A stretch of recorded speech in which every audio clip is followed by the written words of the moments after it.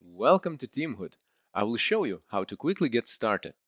After creating your first workspace, you will see Workspace menu on the left and Workview on the right.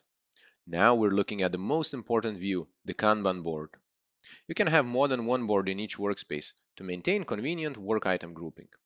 Each board contains of columns, rows, and items. Columns usually represent work statuses or process steps, just like in here, to do, doing, and done. Rows allow you to group work items into meaningful categories, like projects, project phases, or iterations. Just in here, I have two projects, Project Mars and Project Moon.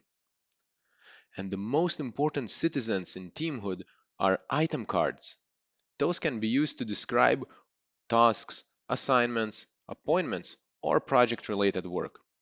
You can delegate work by assigning items to your team members. You can collaborate with your team by writing comments or attaching important documentation.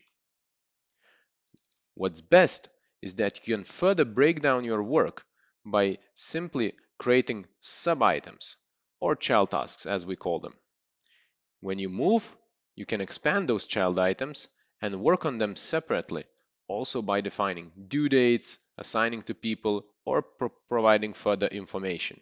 When all of them are done, you can say that your top-level work item card is completed. This is how work gets finished in Teamhood. That is it for now. Watch other videos to learn more.